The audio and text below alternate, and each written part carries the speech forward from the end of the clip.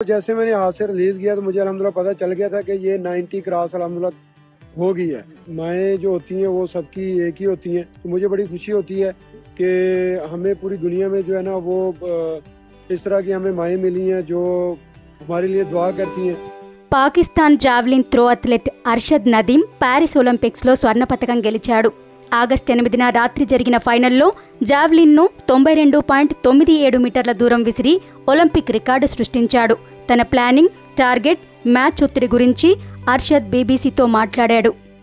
پہلی جو اپنے اٹمپٹ کی آپ کی اور نیرج دونوں کی اٹمپٹ جو ہے وہ فاؤل ہوئی تو اس وقت کیا کوئی ایڈڈ پریشر آیا تھا اس وقت پریشر نہیں تھا لیکن میری فیلنگ ماشاء اللہ اتنی اچھی تھی کہ میں زیادہ اوور ہو گیا جو میری رننگ تھی وہ زیادہ اوور ہوگی جس کی وجہ سے میری جو وہ رننگ خراب ہوئی اس کی وجہ سے جو وہ تھرو نہیں ہوئی اور جب آپ نے فرسٹ تھرو کی، اس سے پہلے کیا ٹارگٹ کیا مائنڈ میں تھا کہ اس کو میں نے مارک کرنا ہے؟ آج ہی پہلی تھرو پہ میرا ٹارگٹ یہی تھا کہ میں انشاءاللہ نائنٹی پلس جو ہے نا وہ کراس کروں۔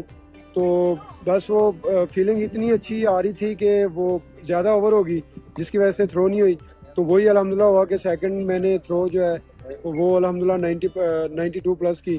تو شکر الحمدللہ جو پہلی فیلنگ تھی اور سیکنڈ میں بھی سیم وہی فیلنگ تھی۔ نے کہا تھا جب میرے ہاتھ سے نیزا نکلتا ہے پتہ چل جاتا ہے کتنی چھوئے پتہ چل گیا تھا کہ آج بالکل جیسے میں نے ہاتھ سے ریلیز کیا تو مجھے الحمدللہ پتہ چل گیا تھا کہ یہ نائنٹی کراس الحمدللہ ہو گئی ہے۔ تو وہ اللہ تعالیٰ کا شکر ہے کہ وہ نائنٹی ٹو پلس ہوئی۔ آپ دونوں پہلے کھیلتے تھے تو وہ فرسٹ پہ ہوتے تھے آپ سیکنڈ پہ ہوتے تھے۔ اس دفعہ رولز ریورس ہو گئے۔ اس کے بعد نیرج سے بات ہوئی اس نے کچھ بتایا کچھ کیا؟ آج بالکل خوشی ہوئی اس کو کہ یار چلے ماشاءاللہ ہم جو ہے نا پہلے ورلڈ ایتھلیٹک چیمپئن شپ میں بھی ہم ساؤتھ ایشیا سے ہیں پورے ورلڈ میں پرفارم کر رہے ہیں تو ابھی آپ فرسٹ ہوئے سیکنڈ ہوئے تو مجھے پھر بھی خوشی ہو رہی ہے کہ ہم ساؤتھ ایشیا کے پلیئرز ہیں اور پورے ورلڈ میں پرفارم کر رہے ہیں۔ آپ کی مدر نے بھی اور ان کی مدر نے بھی پیغام دیا کہ جی دونوں ہمارے بیٹے ہی ہیں ایک ہیں؟